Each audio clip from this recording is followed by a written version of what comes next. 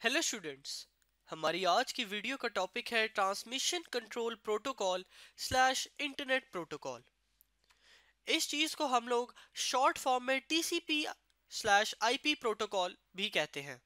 यानी transmission control protocol T for transmission C for control and P for protocol slash internet protocol ये हमारे पास दरअसल एक network model है, जो कि हमारे पास बहुत ही इंपॉर्टेंट है और बहुत ही यूजफुल है, क्योंकि हमारे पास करंट इंटरनेट में भी इसी मॉडल का इस्तेमाल किया जा रहा है। इस बात का ये मतलब है कि जो अभी हम लोग इंटरनेट का इस्तेमाल कर रहे हैं आजकल, वो इंटरनेट दरअसल इसी मॉडल की मॉडल के ऊपर बेस करता है, यानी इसी मॉडल की मदद से मुमकिन बनाया गया है। यहाँ पर TCP IP जो हमारे पास एक मॉडल है, इसके अंदर हमारे पास डिफरेंट प्रोटोकॉल्स मौजूद होते हैं, जो कि हमारे पास दरअसल सेट ऑफ़ रूल्स होते हैं, जिनकी मदद से हमारे पास डाटा कम्युनिकेशन यानी कि एक जगह से दूसरी जगह तक ये जो डाटा का जाना है ट्रांसफ़र होना है, इसको मुमकिन बनाया जाता है।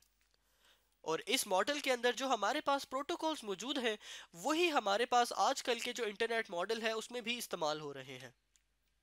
हमारे पास ये जो प्रोटोकॉल्स या सेट ऑफ़ रूल्स होते हैं, ये हमारे पास दरअसल मूवमेंट ऑफ़ डाटा जिस तरह अभी हमने डिस्कस किया था डाटा कम्युनिकेशन में इस्तेमाल होते हैं।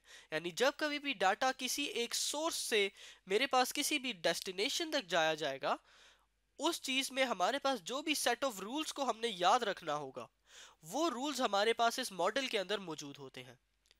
यानी अगर मेरे पास एक कंप्यूटर C1 मौजूद है और मैंने उससे डाटा भेजना है C2 तक तो ये जो मैं डाटा यहाँ से यहाँ, यानी जो भेज रही होती है डिवाइस, उसको सोर्स कहते हैं और जो डाटा रिसीव कर रही होती है उसको डेस्टिनेशन। तो ये जो डाटा का सोर्स से डेस्टिनेशन तक जाना है, इसके लिए जो भी रूल्स इस्तेमाल होंगे इस रस्ते के अंदर, वो रूल्स हमारे पास हमारे पास प्रोटोकॉल्स कहलाते हैं और इस टीसीपी आईपी के अंदर मौजूद होते हैं। इसी तरह अगर हम लोग इंटरनेट की बात करें तो जिस तरह के अभी हमने ऊपर देखा था कि इंटरनेट के अंदर भी जितनी भी डाटा कम्युनिकेशन हो रही है, वो तमाम इन्हीं प्रोटोकॉल्स यानी इन्हीं रूल्स के ऊपर बेस करती है। आईपी हमारे पास दरअसल बनाया गया था यूनाइटेड स्टेट्स के डिपार्टमेंट ऑफ़ डिफेंस की तरफ़ से, यानी यूएस ये हमारे पास 1969 में बनाया गया था, इसी डिपार्टमेंट की मदद से। और यहाँ पर इस मॉडल के अंदर जो हमारे पास मोस्ट इंपॉर्टेंट प्रोटोकॉल्स हैं, यानी कि जो सबसे इंपॉर्टेंट रूल्स जो इस्तेमाल हो रहे हैं, वो हमारे पास यही टीसीपी और आईपी है। यानी कि इस मॉडल का जो नाम रखा गया है, वो दरअसल दो ऐसे प्रोटोकॉल्स के ऊपर रखा गया है जो इस मॉडल के सबसे अहम प्रोटोकॉल्स हैं।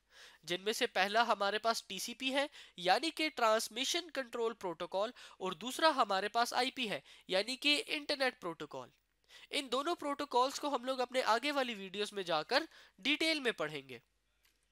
हमारे पास इस मॉडल के अंदर चार लेयर्स मौजूद होती हैं। यहाँ पर चार लेयर्स हमारे पास वो कौन सी हैं, इनको हम लोग अपनी अगली, यानी कि टीसीपी आईपी आर्किटेक्चर वाली वीडियो में देखेंगे।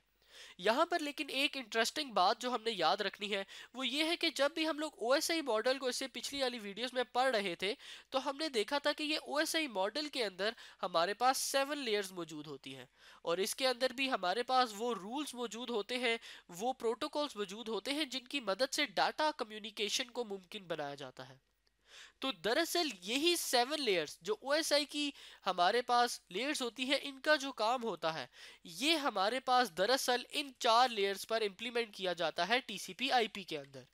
तो हम लोग कह सकते हैं कि टीसीपी आईपी जो हमारे पास एक मॉडल है, ये दरअसल इम्प्लीमेंटेशन है ऑफ़ ओएसआई यानी कि ओएसआई हमारे पास एक रेफरेंस मॉडल है, दरअसल हमारे पास ये एक ऐसा मॉडल है जो कि गाइडेंस के लिए इस्तेमाल होता है। यानी किसी भी चीज़ को गाइड करने के लिए अगर कोई नया मॉडल बनना है तो वो इससे गाइडेंस लेके बनेगा। और इसी की गाइडेंस की मदद से हमने जो है टीसीपी आईपी मॉडल जो है बनाया। यहाँ पर। इसीलिए TCP IP को इम्प्लीमेंटेशन ऑफ़ OSI यानी कि ओपन सिस्टम इंटरकनेक्शन मॉडल की एक इम्प्लीमेंटेशन कहा जाता है। यानी कि इस तरह इसको समझा जा सकता है कि OSI हमारे पास दरअसल एक थेरेटिकल मॉडल है, यानी कि जिसको हम लोग समझने के लिए चीज़ों को, अपने कॉन्सेप्ट को पक्का करने के लिए इस्तेमाल करते हैं। और हमारे पास ये जो टी IP है, ये दरअसल हमारे पास उसकी एक इम्प्लीमेंटेशन है तो इसको हम लोग लिखते हैं कि ये हमारे पास एक दरअसल प्रैक्टिकल मॉडल है। यानी कि प्रैक्टिकल मॉडल जिसको हमने प्रैक्टिकली इम्प्लीमेंट किया हुआ है। तो स्टूडेंट्स आज की वीडियो में हमने देखा कि टीसीपी आईपी हमारे पास मॉडल होता क्या है। अब अगली वीडियोस में जाकर हम लोग इन चार लेयर्स के बारे में पढ़ेंगे और वो दीगर मुख्तलिफ़ काम देखेंगे जो हम इन चार लेयर्स की मदद से और इस टीसीपी आईपी मॉडल की मदद से लेते हैं। Thank you students